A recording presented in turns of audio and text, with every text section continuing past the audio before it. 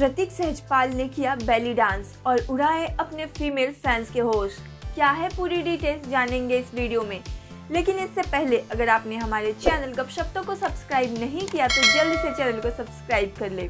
दरअसल big boss 15 के बाद प्रतीक सहजपाल एक के बाद एक म्यूज़िक वीडियो तो कर ही रहे हैं। लेकिन साथ ही प्रतीक सहजपाल द खतरा शो में भी नज़र आ रहे हैं। और इसी दौरान द खतरा शो का एक प्रोमो आया है, जिसमें प्रतीक सहजपाल बेली डांस करते नज़र आ रहे हैं। प्रतीक सहजपाल का ये बेली डांस देखकर ऑडियंस में मौजूद जितने भी फीमेल फैंस है, सभी फिदा हो गए प्रतीक सहजपाल पे।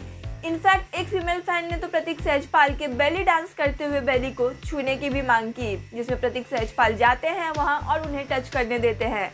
और प्रतीक को टच करते ही वो फीमेल फ़ैन का ऐसा रिएक्शन था जैसे कि मानो उन्हें करंट आ गया। और प्रतीक का ये बेली डांस देखकर फैंस भी काफ़ी ज़्यादा एक्साइटेड है। और भाई प्रतीक सहजपाल का ये समझ में ही नहीं आता एक तरफ़ प्रतीक कहते हैं कि उन्हें डांस नहीं आती और दूसरी ओर प्रतीक सहजपाल इतने अच्छे बैली डांस कर लेते हैं। तो दोस्तों, आप क्या कहना चाहते हैं प्रतीक सहजपाल के लिए? और आपको प्रतीक का ये बैली डांस कैसा लगा? कमेंट कर हमें बताएँ। और भी खबरों के लिए सब्सक्राइब करें गपशप टॉक